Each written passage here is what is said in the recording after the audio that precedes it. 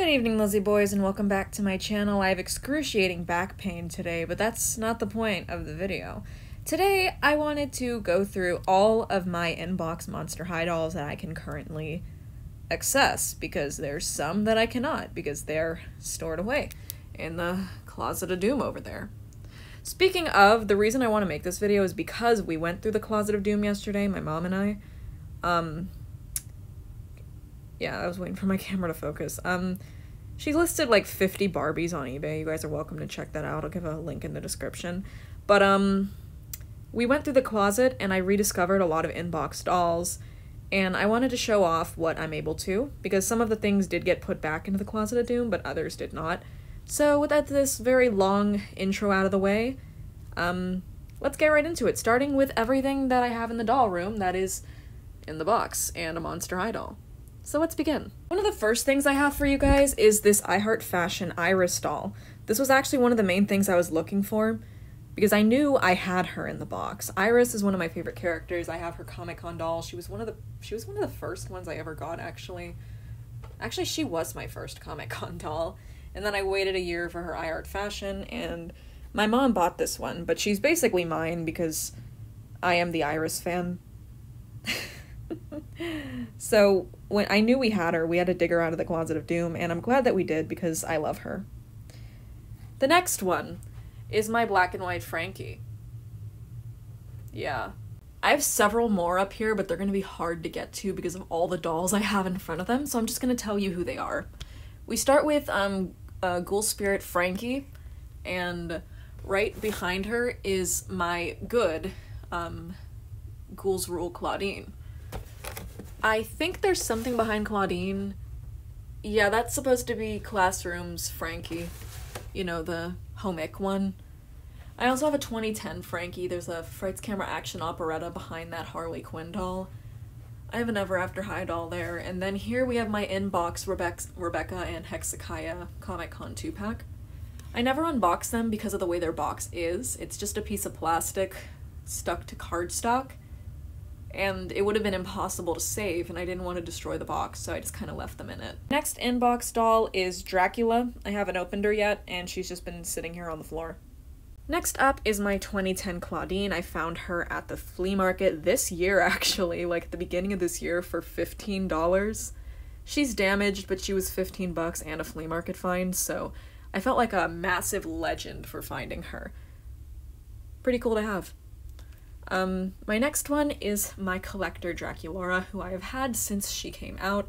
My mom talked me into getting her while she was still only, I think she was either 40 or $50 when she came out. I honestly don't remember. But she was cheap, and that was the reason I got her, and I'm very glad I did. This doll was really expensive online, and it's crazy. Next up are the dolls that I have in the Closet of Doom, and I've got to keep it real with you guys. I can't access them because they're all in this box but I can tell you who I remember having. We have the 2015 reproduction of Frankie Stein in there, um, the original Frankie. We also have Scarnival, um, Skelita, Ghouls Fair Scara, um, Scaris Skelita. My mom has every Skelita. She's a very big Skelita fan, so every Skelita doll is in this box. Um, my Creeproductions are in this one, as well as my new in-box Cleoli, who I got at the flea market recently. Uh, we also have Frightfully Tall Draculaura right there, and Frightfully Tall Elissabat is right underneath. They're both brand new in the box and never been removed. I also have this uh, Monster High pop figure as well as my Abbey vinyl figure. And here's my tattoo variant Rock Angels Chloe, just for fun. I know she's not Monster High, but I love her. I like to show her off. Next comes all the stuff in the loft, and you guys can ignore that. This is all the stuff my mom's selling on eBay. Um, this is where all of my Monster High dolls are kept. The ones that are still accessible, they're in this bin. So, let's start pulling them out one by one. So this is what you see the moment you open it. I have not one, but two in-box Zombie Gagas, and the reason for that is because she was only 40 bucks when she came out, and my mom was like, damn, that's cheap as shit, so she bought three. I actually mentioned that in my Zombie Gaga review, which is one of like the oldest videos on my channel. It's a pretty good review, I think. Except for when I start screaming. I did that a lot in my old videos. I have this sweet 1600 Frankie who uh, take a second to guess where you where I got her. Got her at the flea market. My flea market guy is awesome. Um, I also have this art class Abbey who I got at a thrift store. Uh, she was very cheap. and of course I've always kept her because it's Abbey.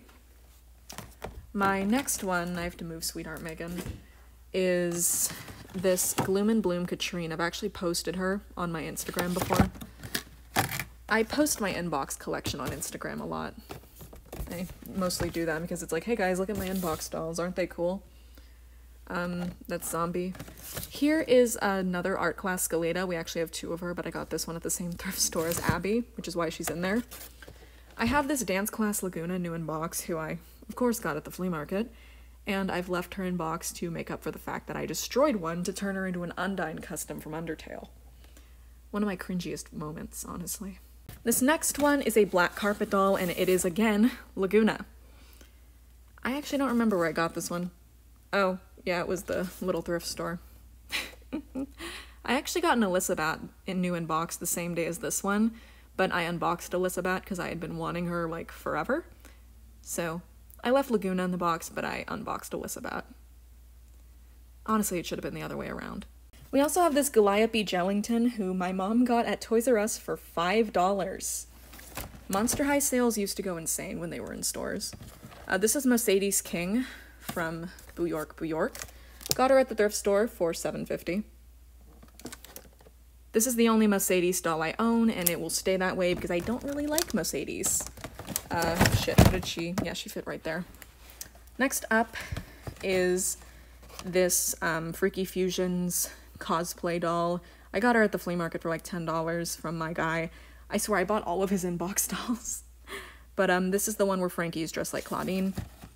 This Freaky Fusion doll is my Clawvenus, who I actually got at a different thrift store for $6.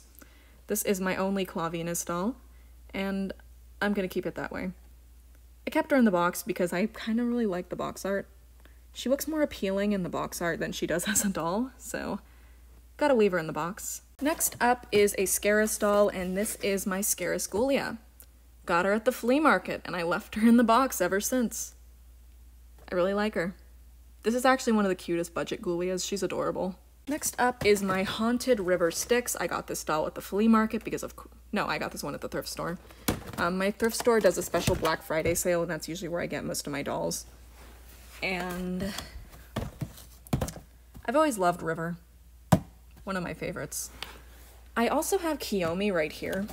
Kiyomi is also one of my number one favorites, so very happy to have three of her. I have one in box and two out of box.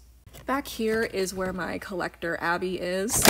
I also have Batsy Claro, who I found at the thrift store. She was about $8. I have Legacy Date Maddie, but she's not included in this video. I also have Kjersti from the same line as Batsy. The only one I don't have in box from this line is Isi, but I thrifted both Kjersti, Kjersti and um, Batsy, so that's fun. I don't know if I showed off Luna, but I have Luna as well. Um, I've also posted her on my Instagram, trying to put Catrine's box back together. This one back here is another one of my Scaris dolls. I got her at the flea market, and it is my Scaris Rochelle. I've never bought this doll again because I have her in box, and uh, yeah, that's why I've never bought her again. Bit wonked out, but she's in box, so who cares? And that is all my inbox dolls in this specific container. I have another one right next to it though, so let's take a peek at what's in there. I have a feeling there's not many Monster High dolls in here, but we do have my Bratzillaz Meygana, my mom's Tokidoki Barbie, uh, Yasmin. Uh, yeah, there's not many Monster High dolls in here. We have my Ever After High Spring Unsprung Lizzie playset, brand new in box. She's like 17 bucks on Mercari. I basically had to buy it. Um, have my thrifted Birthday Bash Chloe, flea market of course. We have my Pampered Pups Chloe, also flea market. Um, birthday ba birthday ball Cedar, Mercari. Yeah, that about does it for what's in here. I just gotta get Chloe to lay down again. Yeah, so no monster dolls in there. Sorry, my mom calls them monsters. I know it's Monster High.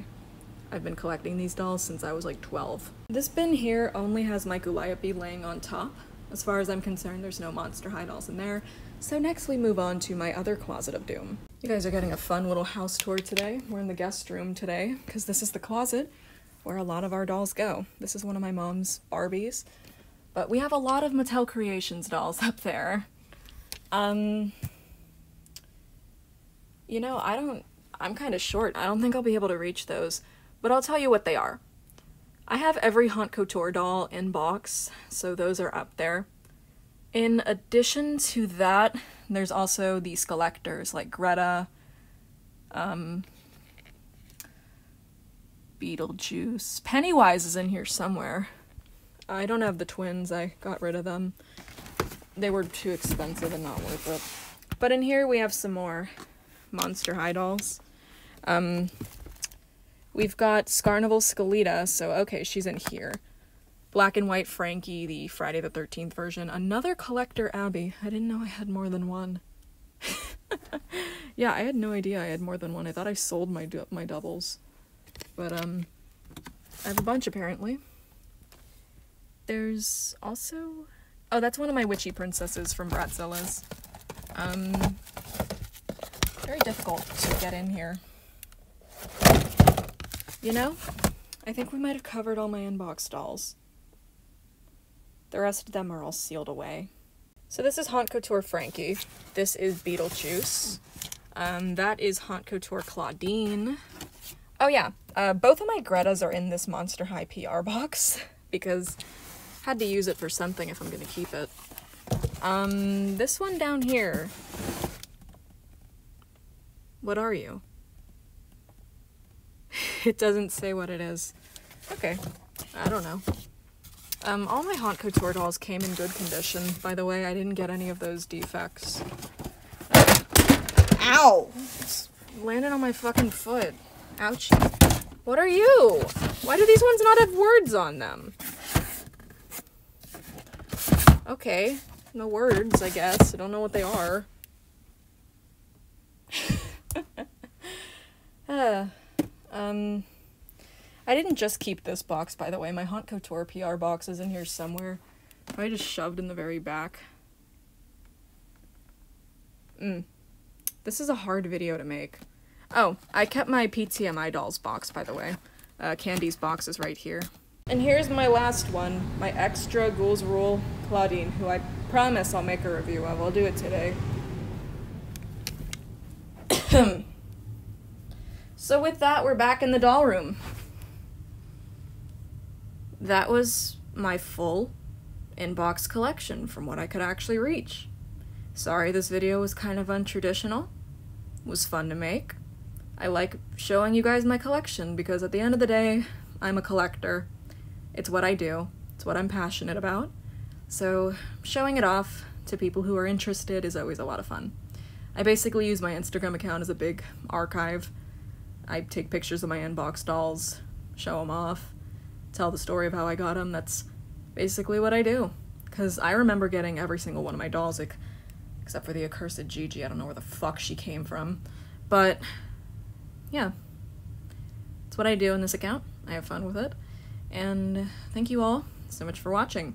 It's fun to pull out my dolls and reminisce and I'm glad you guys enjoy watching that. So thank you all for watching this video, and as always, I hope to see you in my next one. Bye! Forgot to mention this, but all these boxes aside from this jade are empty.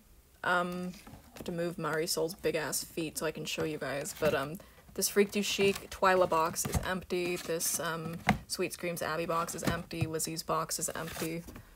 Um, this is basically just Frankie's outer packaging, and underneath it we have other dolls from boxes that I've unboxed, like my empty Jackson box, my empty basic Abbey box.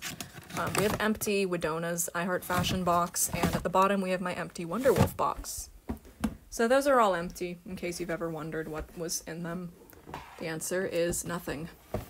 Just like the ingredient in Poe's dad's secret ingredient soup. Bye.